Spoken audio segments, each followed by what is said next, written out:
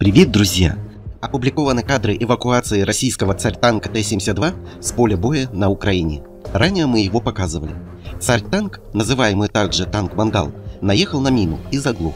Боевую машину атаковали украинские FPV-дроны, но импровизированная защита свела к минимуму ущерб от дронов, и танк не пострадал. Боевую машину с поля боя в районе Красногоровки эвакуировала одна из российских БРЭМ.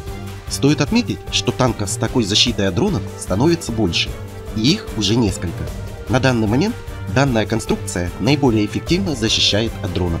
Над конструкцией смеются, но ни одна армия мира не придумала сейчас защиту от дронов для танков. Навесы от дронов теперь ставятся и израильской армией на танки. Ранее мы их показывали. На этом на сегодня все. Друзья, спасибо за просмотр и помощь каналу. Мы осветим все.